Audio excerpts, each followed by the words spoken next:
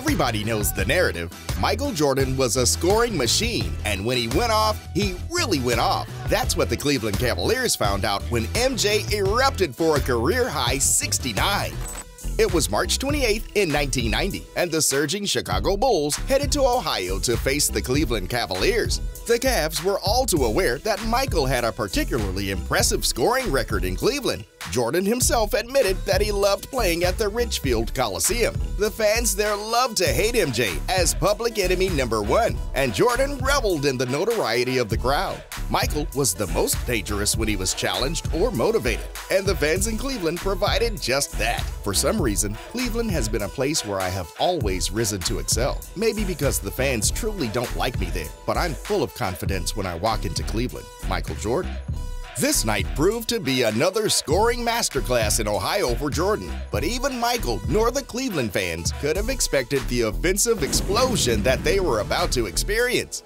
MJ produced an unbelievable display of brilliance and dominance that was a joy to behold for everyone. That's not a Cavs fan, that is. Jordan was simply unplayable, pouring in a career high 69 points, leading his Bulls side to a much needed overtime victory as they marched on towards the playoffs. As always, Michael was the center of everything the Bulls were doing, but the efficiency in his scoring eruption was unbelievable, making it feel like he just could not miss. As the game progressed, it became clear to everyone watching that they were witnessing a special performance. Special even for Michael. MJ was an incredible 23 of 37 from the field and a staggering 21 of 23 from the free throw line. Spare a thought for poor old Cavs guard Craig Ehlo. Ehlo had been victimized by Jordan several times before, including most famously the buzzer beater from the foul line, where the Cleveland veteran glided by as Jordan double clutched his way to an iconic game winner.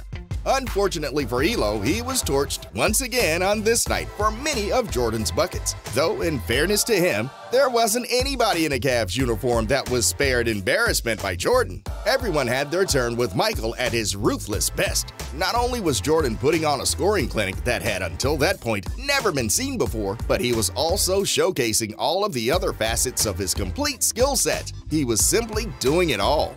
Along with his 69 points, he snagged a ridiculous 18 rebounds, 6 assists, and 4 steals. Jordan was aware that he'd had massive scoring games before, but they hadn't always led to victories. But on this occasion, he was determined it would be different. He wanted the W, and he was going to make sure they left with it. I've been in that situation where I've scored a lot of points and we lost, and I didn't want that to happen. So I kept pushing myself, kept talking to myself, saying, Don't stop, don't stop, keep going. You feel better about the effort when you win. Michael Jordan. MJ ended up playing 50 minutes in the dramatic overtime win and sealed the victory from the charity line. He defied personal fatigue and exhaustion down to the stretch in order to put the Cavs to the sword, and once again ensured he faced the wrath of the baying Coliseum crowd. But even the most die-hard Cavaliers supporter would have to admit that watching Michael that night was a sight to behold. There were many times in his career that Jordan would leave opposing fans speechless and in a sense of shock.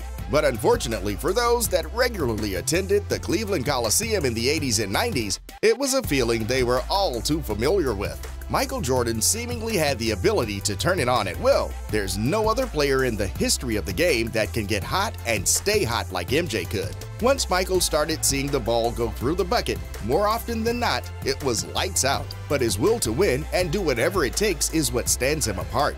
And back in March of 1990, the Cleveland Cavaliers found out exactly what that's like. Again! Remember to like, comment, and subscribe for more top NBA content.